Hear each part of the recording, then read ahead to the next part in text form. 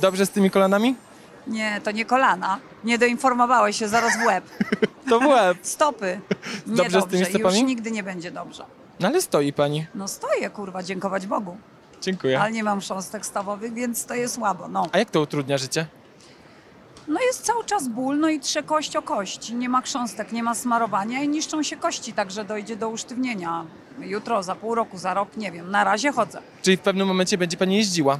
Y, może tak być, aczkolwiek liczę na to, bo ruszają testy w Stanach Mhm. już z nowym żelem y, mocniejszym od chrząstki stawowej, więc liczę na implanty i operacje w Stanach. Zobaczymy, co będzie. A będzie panią stać na to, żeby taką operację zrobić? Bo to pewnie tam drogo. No, y, nie wiem, no, sprzedam z dwa pierścionki i może zrobię operację. Może zbiórkę zrobić? A nie, kochany, ja bym nie zrobiła zbiórki. Ja nie jestem dziaduwa, są bardziej potrzebujący. Ja mam co sprzedać w razie W. Dziękuję. Proszę bardzo.